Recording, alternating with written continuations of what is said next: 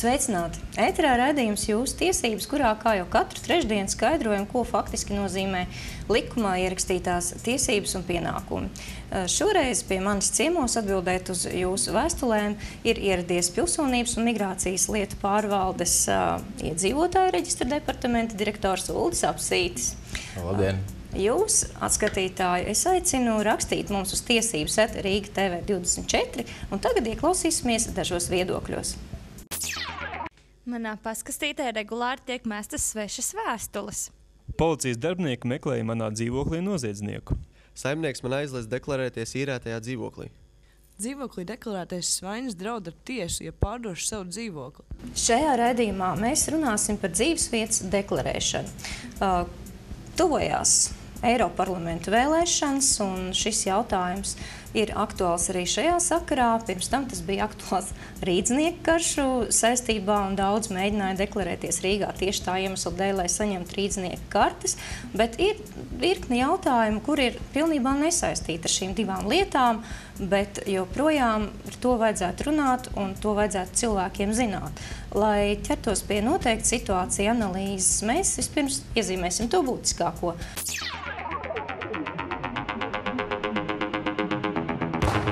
Nu jā, tad būtiski jau kopš 2003. gada 1. jūlija ir aizstāta dzīves vietas pieraksta sistēma, dzīves vietas deklarēšana. Un, tā pamata izmaiņa šobrīd ir tāda, ka jūs vairs tādā veidā nepiesaistat pie īpašuma ar šo deklarēšanu, bet tā ir vieta, kā jūs kontaktēties ar valsti. Citiem vārdiem, pieraksta sistēma vairs neeksistē. Eksistē deklarēšanās. Un, lai varētu tālāk iztirzāt šo jautājumu, ieskatīsimies mūsu pastasomā. Manā pastkastē regulāri pienāk svešas vēstules, pēdējā laikā arī tiesu pavēstis. Reiz pasniegs atnesa ierakstītu vēstuli un gribēja, lai parakstos, ka ir saņemta. Es atteicos, jo personu, kam tā adresēta, nepazīstu. Vakar ieradās policija un meklēja to personu. Izrādījās, manā dzīvoklī deklarējies noziedznieks. Esmu neizpratnē. Kā jūs komentētu vēstulē aprakstīto situāciju? Uh, nu, Faktiski pēc dažādiem pētījumiem iedzīvotāju reģistrā uh, ir apmēram 20% personu, uh, kuri nedzīvo savā deklarētajā dzīves vietā. Uh, bet uh, tomēr lielākam vairumam ir kaut kāda saistība ar šo adresi. Viņi vienalga teiksim, savu korespondenci saņem varbūt ne uzreiz, bet uh, tā, tālāk viņiem tiek nodota. Un, nu, patiski, ļaunprātīgi savu adresi deklarē apmēram tikai 0,01%. Tā kā nu, šis skaits ir maziņš. Uh -huh. Ļaunprātīgi deklarēt, tas nozīmē, tie tie blēži, kuri grib saņemt kādus labumus, un tad viņi piedeklarējās pie kāda neko nenojautoša cilvēka. Nu, tie ir tie cilvēki, kas ļaunprātīgi. Uh, jā, nu, būtībā tad, tad uh, ir vieni, kas mēģina būt nenotverami, un otri, jā, tad, patiski, kas mēģina saņemt daudz sociālos labumus. Uh -huh. Tātad mēs būtībā varētu teikt, ka deklarēšanās tā ir valsts vai arī dažādu citu iestāžu institūciju saikne ar cilvēku. Ja mēs esam deklarējušies, mēs esam atrodami. Uh, jā, būtībā tad valsts un pašvaldības iestādes var nosūtīt dokumentus, paziņojumus uz jūsu deklarētu dzīves vietu, un jūs viņus saņemsiet. Um, tomēr eksistē šie blēži, kurus mēs jau pieminējām. Kādas ir tās populārākās, neparastākās vietas, kur cilvēki mēdz deklarēties? Uh, nu, Galvenais ir teici, transformatoru būdes, pļavas, jaunbūves, kaut kādi rūpniecības uzņēmumi. Um, bet būtībā, nu, ja tu tur piedeklarējies, tur droši vien paskatīts, tomēr te transformatoru būdai nav un attiecīgi šo sev adresēto vēstuli jūs nesaņemsiet. Mm -hmm. Uz kādu dokumentu pamata personai ir tiesības deklarēties? Nu, pamatā pirmkārt tas ir īpašuma tiesības un radniecība, bet nu, tad, kur visvairāk notiek deklarēšanas, būtībā tie ir īres līgumi. Mm -hmm īres līgumi, tas eh, nu, cilvēks īrē dzīvokli, piemēram, tad viņš arī tur var deklarēties, vai arī viņam šis dzīvoklis pieder, arī tad viņš tur deklarējās. Jā. Šajā vietā var deklarēties arī teiksim, viņa brāļa, māsas, vīrs, sieva. Uh, nu, būtībā tie ir vairāk kā radinieki, ja, bet, nu, ja īpašnieks nevēlas, ka viņam tur uh, sieva vai brālis deklarējās, nu, tad uh, viņš arī ne, neļaut. Uh -huh. Tātad viens no šiem pamatojumiem, uz kura var cilvēks deklarēties, deklarēties ir īres līgums. Tomēr civil likumā pastāv arī tāda lieta kā mutiska vienošanās tieši attiecībā uz to, kur cilvēks dzīvo. Piemēram, viņš apmetās pie kāda dzīvot, un uh, īres līguma nav, bet ir mutiska vienošanās, ka viņš tur uzturās. Vai šī mutiskā vienošanās arī var kalpot par tiesisku pamatu, iet un uh, paziņot, ka es šeit vēlos deklarēties, un viņi piedeklarēs? Jā, bet nu, tie ir reizēm pēc tam strīdus gadījumi, kad uh, neviena ne otra puse nevar pierādīt šo mutisko īres līgumu. Nu, tad vienīgais ir par pamatu kalpot kaut kādu veiktie maksājumu ar kontu vai kaut kas tam līdzīgs. Mm -hmm. Kā pašvaldība pārbauda to, vai tas, kurš ir deklarējies, ir iesniedzis patiesas ziņas? Pašvaldībai tad ir pienākums, ja viņa vēlās, viņai ir aizdomas pārbaudīt šīs ziņas, tad viņa var pieprasīt pilnu informāciju gan no tās personas, kas vēlās deklarēt dzīves vietu, gan arī no īpašnieka vai valdījumā vai turētājas, kas ir īpašumam konkrētā mhm. brīdī. Vai var būt tā, ka, piemēram, kāds cilvēks pats, nu, piemēram, tas īpašnieks, ja tā dzīvokļa, ka viņš iet un pieprasa šīs ziņas pašvaldībai par to, kas tad viņam tur ir deklarējies, vai tas kaut kā savādāk notiek. Tad, nu, īpašniekam ir visas tiesības saņemt šo informāciju, kas viņa īpašumā ir deklarējies.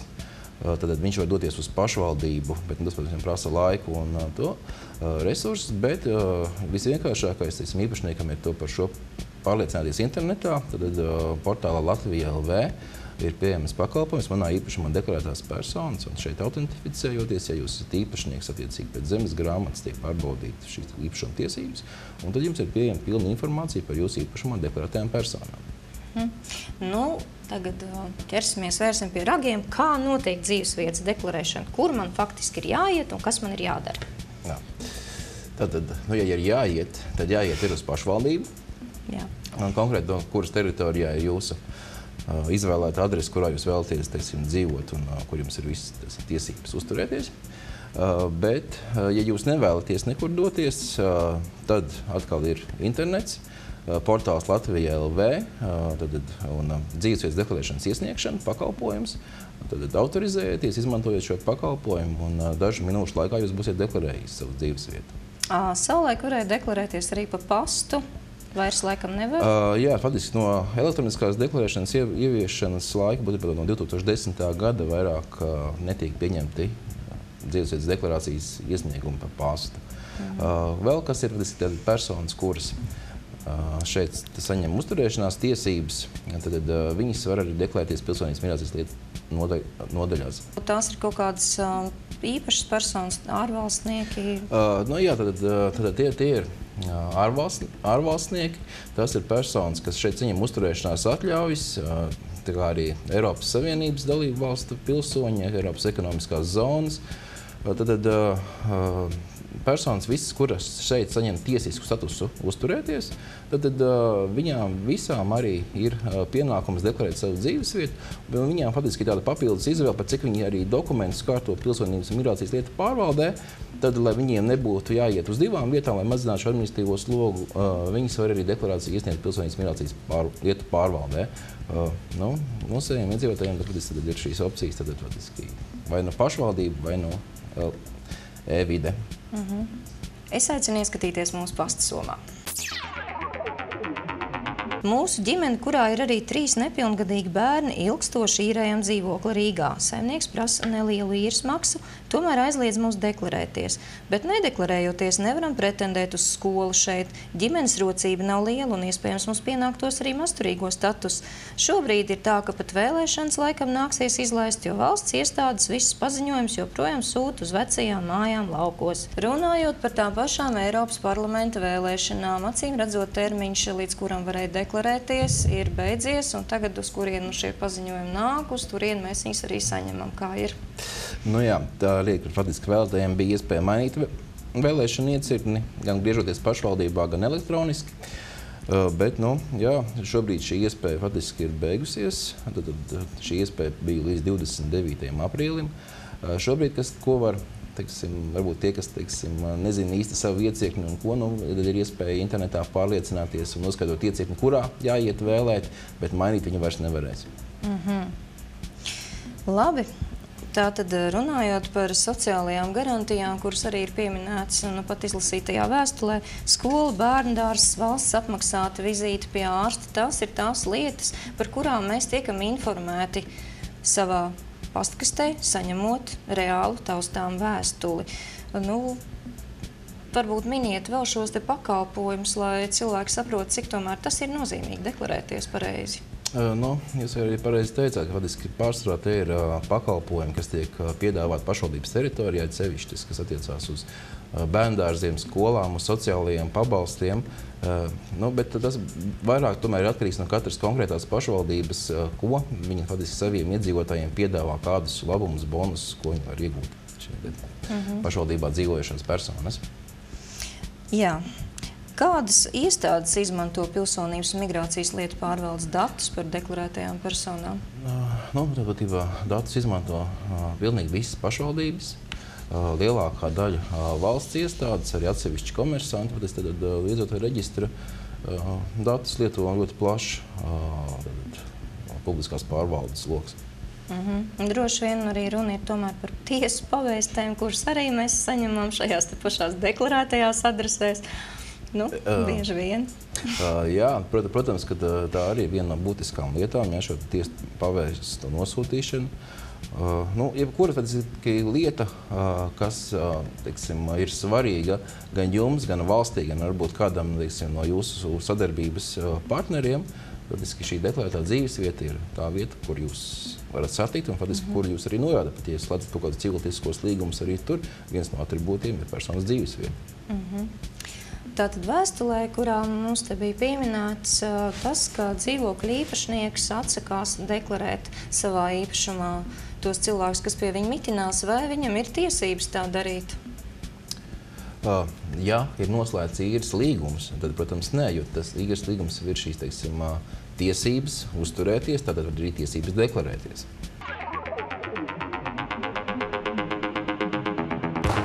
Mazliet parunājot par arī iestādēm, tajā skaitā droši vien arī par pašvaldības iestādēm. Vai persona, kura nav deklarējusies, viņa teiksim, iestāde var lūgt postfaktum deklarēties nu, kaut kad pēc tam? Likums šādu iespēju, protams, paredz, kad pašvaldība saņemot informāciju no kādas iestādes var ja konstatējot, ka šī persona tiešām tur dzīvo un ir reāli eksistējoša adrese, tad, tad uh, pašvaldība var deklarēt šo personu konkrētajā dzīvesvietā, mm -hmm. arī pēc savas iniciatīvas. Vai mainot deklarēšanās adresi, ir jāiet kaut kā īpaši par to jāziņo, vai vienkārši jāpiereģistrē jaunā un viss notiek pats par sevi? Uh, nu, jā, tas, kas ir šis noteikums, tad, kad jūs reģistrējat jauno deklarēto adresi, uh, jums nekur nav jāiet un jāatsakās no iepriekšējās. Tad tas viss notiekās automātiski un uh, sistēmiski. Tad jums ir deklarēšanas datumi, jums ir jauna adrese un vecā jau ir vēsture. Uh -huh. Deklarēšanās ir pakalpojums. Pakalpojums noteikti kaut ko maksā. Cik tad maksā deklarēšanās? Deklarēšanās, ja jūs ejat klātienē pašvaldībā, tad tas maksā 4,27 eiro. Bet jums arī ir iespēja to darīt bez maksas atkal šajā pašā internetā, portālā Latvijā LV. Tad šeit jums nekāda maksa netiek ņemta. Nu, izmantojiet jaunākās tehnoloģijas, ejiet internetā un daudz kas būs par brīvu. Vai tomēr ir personu grupas, kuras no valsts nodevas ir atbrīvotas? Uh, jā, uh, no pirmām kārtām jau uh, jaundzimušie. Pirmā reģistrācija jaundzimušiem ir bez maksas bērnam. Un ir arī citas grupas, maznodrošinātie, trūcīgie, Černobiļas. Seku likvidēšanā iesaistītās personas, politiski represētās personas. Faktiski likumā tiek definēts šis lokus. Uh, ir tecim, nu, piemēram dažādi atvieglojumi, ko var piemērot tecim, šīm personām. Uh mhm. -huh. Tad, kad mums piedzimst bērniņš, arī tādā gadījumā viņam ir nepieciešama dzīves vieta. Kā ir ar jaundzimušajiem? Vai viņiem jaundzimušais bērniņš obligāti ir jādeklarē tajā dzīves vietā, kur viņi dzīvo paši, vai var kaut kā to darīt arī citur? Uh, tad, jaundzimušais, protams, ir jādeklarē. Uh, nevar teiksim, tā, ka nu, viņš ir piedzimis, reģistrēt tikai dzimšanu un uh, deklarēt ne, neveikt, jo pēc būtības bērnam nav šīs deklarētās dzīves vietas. Mhm. Uh, šobrīd vadiski, nu, tiek plānot varbūt nākotnē likuma grozījumi, kad uh, šo darbību varēs izveikt vienlaicīgi, mm -hmm. bet patreiz faktiski tad, tad, uh, tie divi pakalpojumi līdz ar to viņi secīgi arī iznāk jāveic. Sākumā reģistrējam bērnu, pēc tam viņu deklarējam. Aha. Uh, bet runājot vispār par nepilngadīgu bērnu līdz 18 gadiem, vai viņš ir jādeklarē obligāti tieši tajā vietā, kur dzīvo vecāki, vai arī mēs varam viņu deklarēt nu, kaut kur citur? Uh, nu, nav obligāti, bet tas, protams, ir uh, mazliet dīvaini, bet nu, Mm -hmm. Likums to neaizliedz. Aizpildot uh, dzīvesvietas deklarēšanas veidlapu, tur ir iespēja norādīt uh, vietas, tātad adreses, kurās jūs varat sastapt. Kā ir jānorāda viena adrese, vai mēs varam norādīt vairākus? Tad, tad uh, jānorāda noteikti viena pamata adrese, kurā jūs deklarēties. Bet uh, vienlaicīgi ir iespējams norādīt arī uh, vienu vai vairākas papildu adreses, Un šīm papildu adresēm ir norādīts konkrēts termiņš, kurā jūs šajā adresē būsiet sastopams. Piemēram, jums uz, teiksim, uz atvaļinājumu laiku, uz kādu mēnesi braucat teiksim, uz vasarnīcu vai kur. Jūs varat pateikt, ka teiksim, nu, tad, šajā gadā no 1. jūlija līdz 1. augustam es būšu sastopams savā teiksim, vasaras rezidencē. -hmm. Norādot šo adresi. Teiksim. Un, Šajā gadījumā, saskaņā ar paziņojumu likumu, tad jūs sākotnēji meklējat deklarēju adresi, bet pēc tam, vadiski, ja jūs tur nereģējat uz šo adresi, tad jums arī korespondents piegādā uz šo papildu adresi. Dzīvokli izsolīja, tagad man nav deklarētas dzīves vietas, pašreiz nav arī darba. Vai es saņemšu bezdarbnieka pabalstu? Ko man darīt ar deklarēšanos, vai esmu tiesīgs stāties dzīvokļa rindā? Nē, tas, ka vadiski, jums ir beigusies viena deklarēšana, Tātad deklarētā dzīvesvieta jums ir nav šī pamata, vai šāda dzīvesvieta deklarēties. Uh, nu, jūs varat īslaicīgi varat deklarēties vienalga, vai pie draugiem, uh, pamatojot to kā mutisku vienošanos, uh, vai kādu citu vietu. Teiksim, nu, nav nekādu ierobežojumu tādā ziņā uz šo adresi. Galvenais, ka nu, pēc būtības jūs tur varat sastapt kaut vai teiksim, nu, kaut kādā laikā. Bet tas attiecās uz uh, kaut kādu pakalpojumu saņemšanu, teiksim, par bezdarbnieku statusu, ko tas nav atkarīgs jau vairāk no dzīves vietas. Mm -hmm. Tātad bezdarbnieku pabalstu šis cilvēks saņems jebkurā gadījumā tādēļ, ka to nesaist ar dzīves vietas deklarēšanu. Uh, jā, jo patiesībā uh, tas ir pilnīgi atsevišķa lieta, jā, jo nu, deklarēšana ir tad, tad, komunikācija, bezdarbnieku status, tad uh, jūsu darba. Nu, atkarīgs lietas, no tā, kur cilvēks strādājas vai maksājas nodokļus. Uh, no, jā, nu, jā, tieši tā. No. Labi, ja cilvēks dodas dzīvot uz ārzemēm, vai arī viņam tad ir obligāts pienākums paziņot Latvijas valstī, ka viņš uz turieni ir devies un kā viņu atrast? Um, jā, tad, uh, personai ir pienākums, uh, ja viņi uzturās ārvalstīs ilgāk par sešiem mēnešiem, vai arī uh, plāno uzturēties ārvalstīs, uz, pārcelties uz patstāvīgu dzīvi, viņai ir pienākums paziņot pilsonības migrācijas lietu pārvaldei. Uh, ko es ieteiktu, patiesībā, ja jūs zināt, ka jūs braucat projām, nu negaidiet tos sešus mēnešus un tikai tad ziņojiet.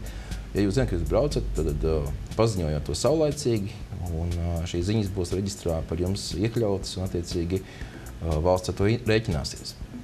Nu, bet es atkal aicinu ieskatīties mūsu pasta somā.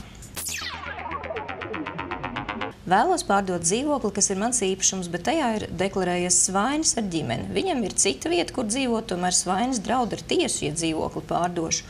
Vai dzīvoklī deklarētas personas drīkst ietekmēt manu lēmumu rīkoties ar īpašumu?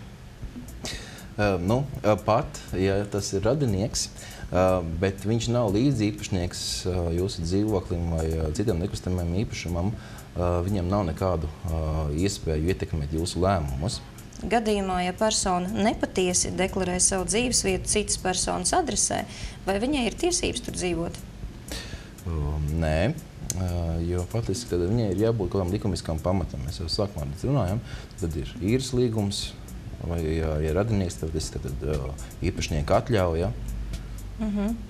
Un, uh, nākamais jautājums ir diezgan pretējs. Ja teiksim, cilvēks nav deklarējies, par to noteikti ir kaut kāda soda nauda. Um, jā, tad, ja persona dzīvo bez deklarētās dzīves vietas, tad viņam var piemērot uh, sodu, no, no, administratīvo sodu, sākot ar brīdinājumu līdz 350 eiro. Mm -hmm.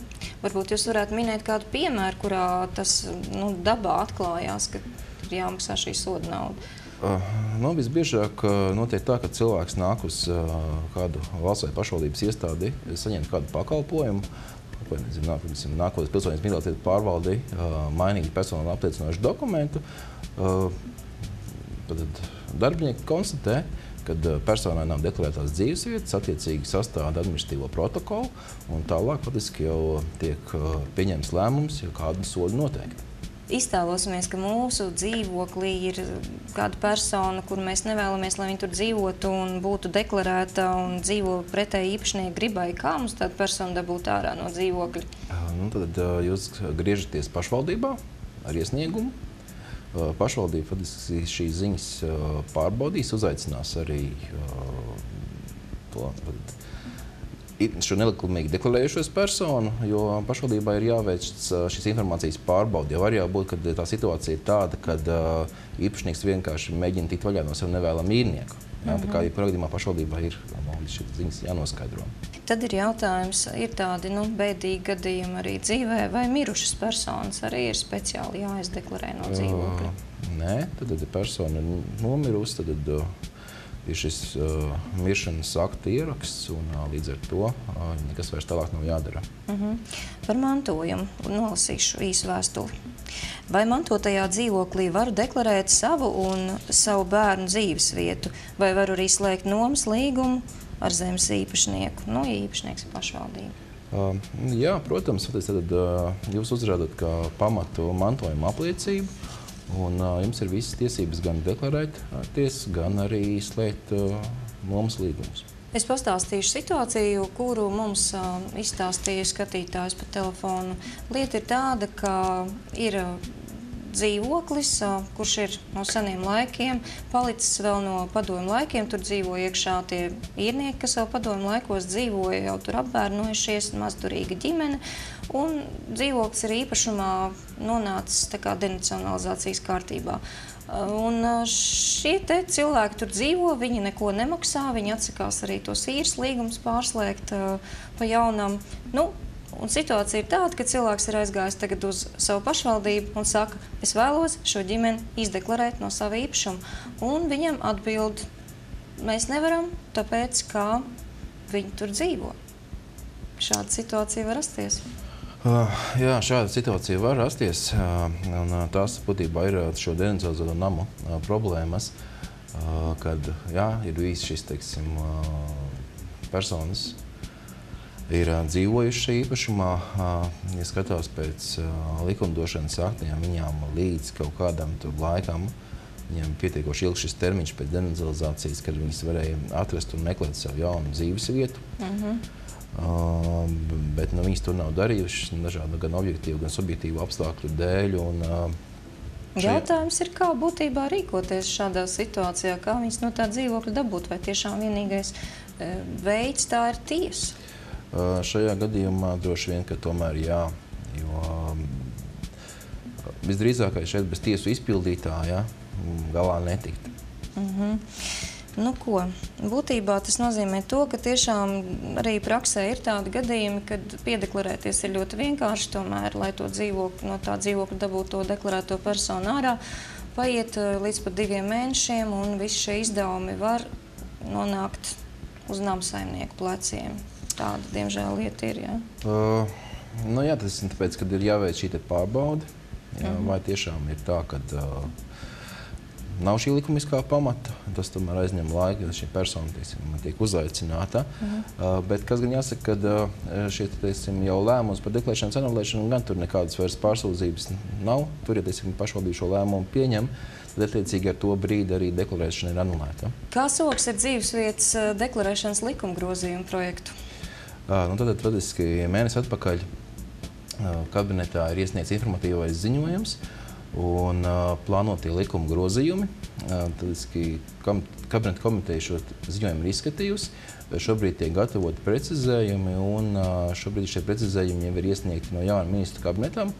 Tā kā nu, gaidīsim, kad kabinets šo ziņojumu skatīs un arī dos uzdevumus veikt konkrētos grozījumus likumā.